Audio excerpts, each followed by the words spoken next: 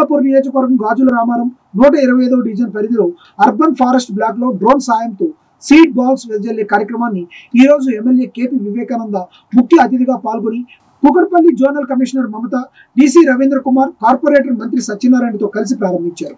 ఈ సందర్భంగా ఎమ్మెల్యే మాట్లాడుతూ హరితహారం కార్యక్రమాన్ని మరింత విస్తృతం చేసి పచ్చదనాన్ని పెంచేందుకు యాంత్రికతను వినియోగించుకున్నట్లు తెలిపారు. దీనివల్ల మరిన్ని సత్ఫలితాలు వస్తాయని చెప్పారు. ఇదివరకు దోమల నివారణకు వినియోగించిన డ్రోన్లను సీడ్ బాల్స్ వెదజల్లేందుకు వాడుతుండటం వల్ల పచ్చదనాన్ని మరింతగా విస్తృతపరచవచ్చునన్నారు.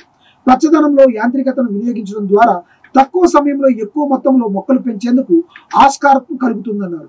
కుత్బుల్లాపూర్ నియోజకవర్గ ప్రజలకు ఆహ్లాదకర వాతావరణాన్ని కల్పించేలా అన్ని హంగులతో త్వరలోనే ఆర్ఫన్ ఫ్యారిస్ బ్లాక్ ప్రారంభానికి సిద్ధం అవుతుందని అన్నారు.